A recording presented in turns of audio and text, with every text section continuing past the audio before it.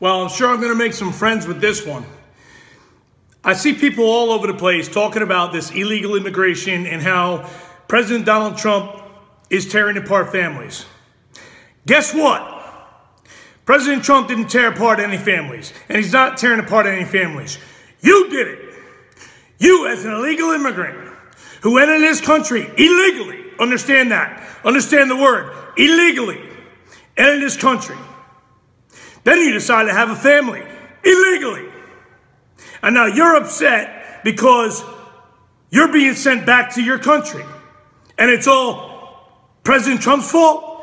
No, it's your fault. Because you're a selfish ass motherfucker. You caused this for your family, not the president. You did. Your family, your ignorance. It's your fault. Nobody else's fault. And no fucking American should have to pay for your friggin' mistakes. Own up to your shit. It's your fault. Nobody else's.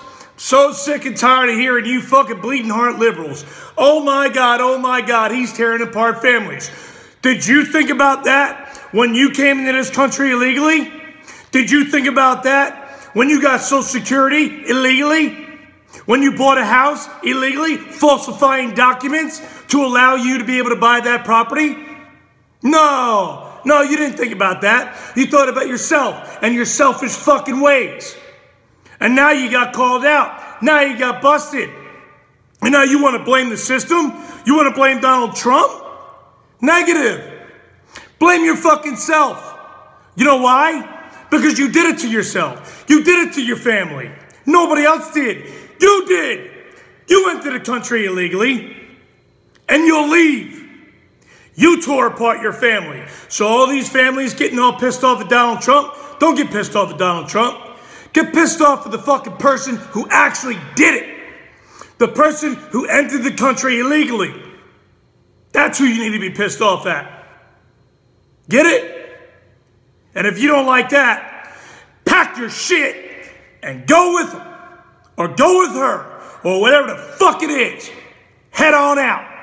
Kick rocks, motherfuckers because that's the way it is. You do something illegal, you get busted for it, it's your fault, not the system. Your fault. Nobody else is. Start being accountable for your actions. That's lesson number one. Start being accountable for your actions and stop being friggin' selfish. That's my friggin' rant for the day. Simplify. Stay motivated, America.